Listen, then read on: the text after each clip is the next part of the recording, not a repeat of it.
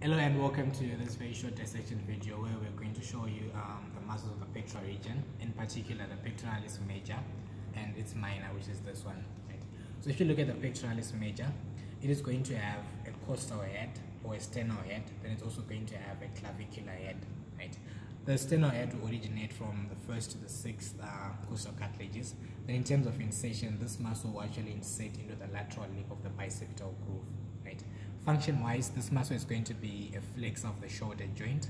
It is also going to medially rotate and it's also going to adduct. Right?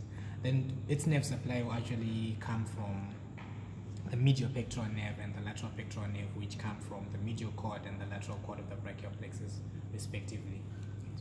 Then this muscle here is going to be a pectoralis minor. The pectoralis minor muscle will originate from the third, the fourth, and the fifth ribs. Then it's going to insert into the tip of the coracoid process, which also provides origin for your coracobrachialis as well as attachment for certain ligaments to include um, the coracoclavicular as well as the acromial, um, coracoacromial ligament. Right. This muscle is going to depress the tip of the shoulder, and um, in terms of its nerve supply, it's also going to come from the pectoral nerves. Then clinically, these muscles may be uh, absent in uh, a syndrome known as Poland syndrome, where you may have the pectoralis minor usually absent, plus or minus uh, the sternal head of the pectoralis major muscle. That's just about it. Thank you.